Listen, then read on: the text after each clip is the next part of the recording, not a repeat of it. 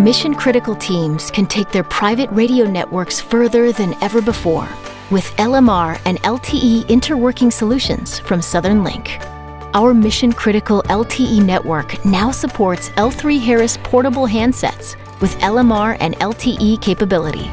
In this video, you will learn how to connect your L3Harris XL series handset to the L3Harris device management server and check for updates.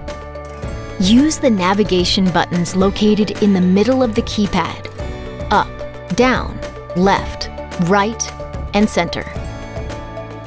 The center button serves as the selection button and takes us to the menu where most actions will occur. First, press the center button.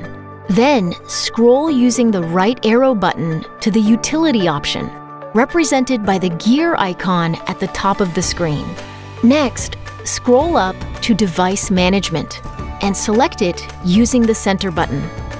This will take you to the device management screen.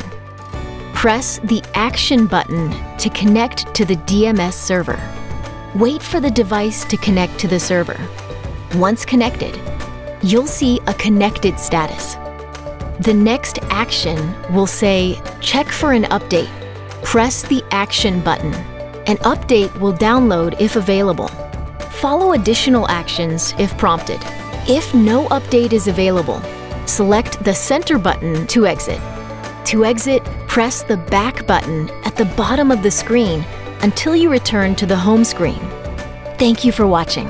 For more tutorials, visit our website, SouthernLINC, Beyond Reliable.